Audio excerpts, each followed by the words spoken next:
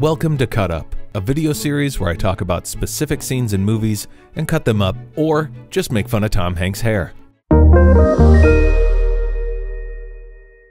This time we're talking about the Robert Langdon trilogy of The Da Vinci Code, Angels and Demons, and Inferno, based on a book series written by Dan Brown. In the films, Robert Langdon is played by Tom Hanks, who's accompanied by a different set of love interests and haircuts in every film. Which is all I really remember hearing about with this first movie.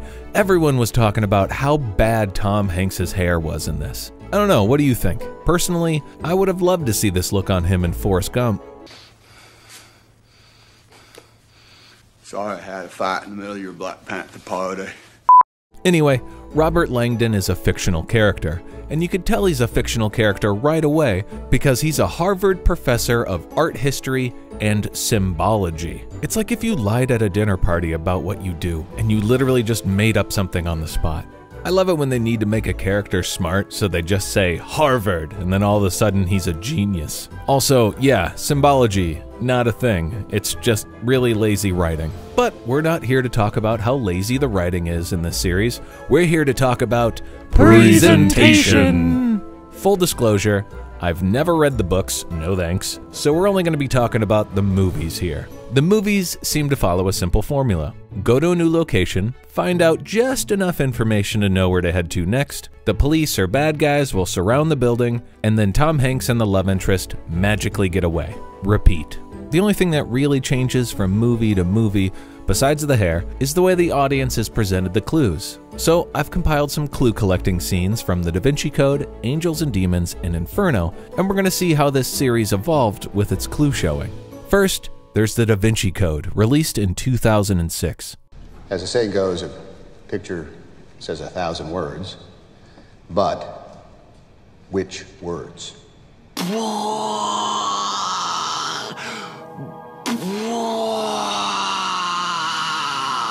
In all these movies, they had to solve a problem. How do we make the exposition in the clue finding interesting? You can't just have your main characters looking at a painting, searching for clues in a blockbuster film. It needs to be interesting. There has to be some flair. It needs drama and running. So, how do you present these clues in an interesting way? In the Da Vinci Code, they do a lot of different things to make it exciting. The mystery really starts in the Da Vinci Code when Robert Langdon is shown a dead guy with a pentagram painting in blood on his chest and a crumpled up note with numbers on it next to him. They discover an anagram on the floor using a black light, which leads them to the Mona Lisa, which has blood by it, and another anagram that Tom Hanks, sorry, Robert Langdon, decodes using his beautiful mind powers. That leads them to a painting that has a key behind it. Oh, and I forgot to tell you that there is a security guard walking around raising the stakes this whole time. But that leads to nothing because he loves art so much that he's willing to give up his gun for it, not to be harmed. Méfiez-vous. J'ai jamais vraiment aimé cette peinture.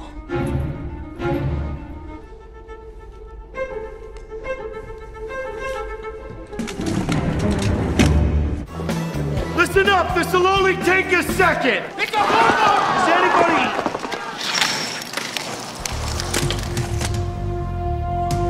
Oh, jeez.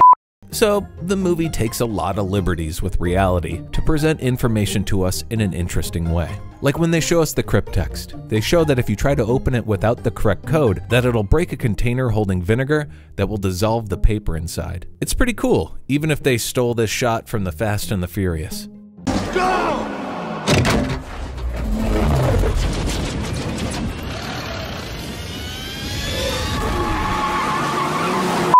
Then, when this movie is literally changing Jesus' backstory, it's presented to us via an amazing PowerPoint. It looks like he's doing all of this on the fly. Does he do this for a crowd and now it's just uh, us? Why does he have such an elaborate setup? Who's seeing these flashbacks? Are they a part of the presentation? Does Ian McKellen play a wizard in all of his movie roles? Is he a wizard in this? You know what? Don't worry about it. All you need to know is that you've been lied to and there's a mystery to solve. There are just a lot of jumps in logic and how the universe works. It's just easier if you watch it and believe that magic is real in this universe because it's clear that Robert Lang Lang has magic powers. He's reading glowing codes, he has young wizard hair, he can mix the past and the present like a time wizard when he explains things. She could see this, right? Otherwise, who's it for?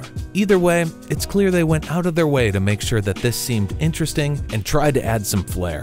It's really just a lot of pomp and circumstance mixed with tension, but it's the best the series has to offer. You are the heir. The end of the bloodline. You are the last living descendant of Jesus Christ. I don't think so. Let's move on to Angels and Demons, released in 2009. So let's get this out of the way. The hair is gone.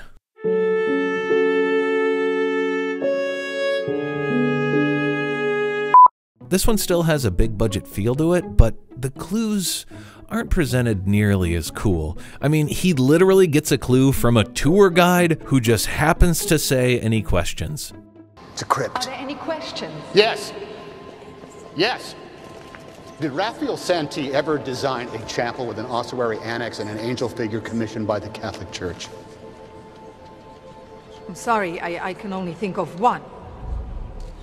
One is good. That is not the appropriate response in this situation. She should have said, All right, that concludes our tour. Any questions? Did Raphael Santi ever design a chapel with an ossuary annex and an angel figure commissioned by the Catholic Church? I'm sorry, sir. I was not talking to you. I have no idea who you are. Um, look, if you have any questions, you can come on our next tour. It's at 1. One is good. For other parts, it's just not as interesting as the original. Statues literally just point Bob Langdon in the direction he needs to go. Then he has to look at a bunch of old books to find out some info. But don't worry, audience. It's not the hard books, it's the kind with a lot of pictures. Is this getting boring? What happens if everything was red? Less boring? No? Okay, okay. Uh, don't worry, we got some cool stuff.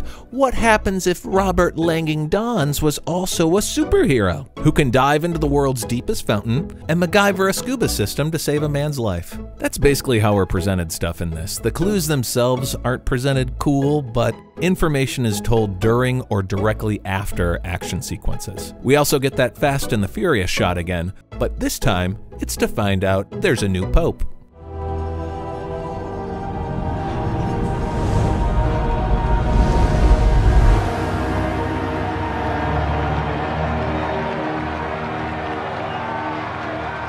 Rad. Finally, let's take a look at Inferno, released in 2016. Yes, there is a third film in the series. I was surprised to find that out too. And this one, oh, oh boy, there is a steep drop off to how clues are presented compared to the first two films. The first clue is revealed to us via a tiny flashlight. Who stores vital information in something like this? Isn't that just something you could buy at a museum? I'm sorry, but you showed us magic PowerPoint that infiltrates your mind. You're not going to excite me with a literal children's toy. You know what? That's just the first one. That one's out of the way. Let's see what the next one is. The next clue, oh, do you guys remember when I said, you can't just have your main characters looking at a painting, searching for clues in a blockbuster film. Yeah, yeah, yeah. What I meant to say was you shouldn't have your main character just looking at a painting, because of course you can. And to prove it, that's what they did in the film. Just looking up at a painting. Not even a cool shot of it. Next clue. After Tom Hanks does the weakest unlocking technique I've ever seen. Seriously, what is he even unlatching here? When does it unlock exactly? I mean, come on, we're just going through the motions here. I gotta move on. Next clue is literally them looking up a Wikipedia article on their phone. To be fair, they did do this in the first film. They used a search engine on a phone, but you know what? It sucked then too. The next information we get is how we get most of our info in Inferno, and it's given to us via a flashback triggered by a random sound. Oh yeah, I forgot to say, Professor Robert L. to the Angdon has amnesia in this thing. I mean, that's just good writing right there. What better way to develop your character three films in than to completely stop all progress? Has anyone ever gone to see the third film of a series and said, hey, you know what? I really hope my favorite main character has amnesia. No, it's awful. And it's the main source of how we get our information in this. The next piece of the puzzle is given to us again by a tour guide. They're literally just sightseeing now and hoping that the mystery unravels itself. You know, I'm starting to think that maybe I'm Harvard professor material. I can accost tour guides and Google stuff. The rest of the clue finding is just more of the same. Robert Landon remembers something or someone tells him the answer he needs. Most of the time, they're just kind of bumbling around trying to make it look like they're accomplishing anything, but it's all just given to them. Like in this scene, they try to make it look like they're accomplishing something. He puts his ear to the stone, he says some stuff, he hears some sounds, but then this guy's just like, oh yeah, I know the place. And they're like, take us there. What was that all about? Also gross, get your face off the ground. What happened to the pageantry? Where's the magic? Robert Don Lang used to save people's lives. Now the guy can't even get up an eight foot wall without getting concussed.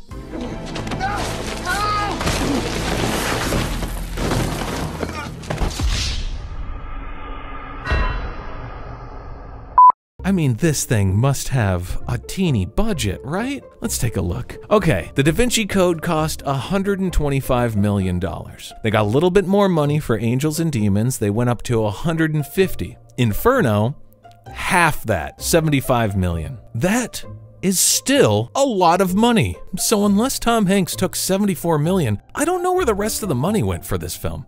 You want to do something fine, then scream at the top of your lungs and invent and leave. If you love humanity, if you love this planet, you'd do anything to save it. The greatest sins in human history have been committed in the name of love.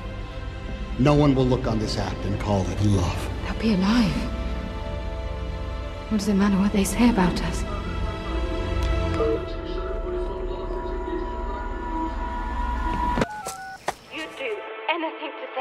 Hello? No one will look on this act and call it love. Miss Onaker? Hello, Miss Onaker? So that's the Robert Long Dong trilogy. I didn't really enjoy any of these films, but the first one really tried, and the second one still had that blockbuster movie feeling. But by the time they got to the third one, no one cared about the series anymore, including the people who were making it, and it shows. If you've read the books, let me know in the comments what you thought about them and the movies. I would also love to see a movie that does what this series did, but maybe even a little bit more insane, and I assume that's what National Treasure is like. And guess what? I've never seen any of the National Treasures, so if you've seen them, let me know in the comments if you think it's good enough for a cut up. Make sure to subscribe, you monsters. Give me all your likes. Laters.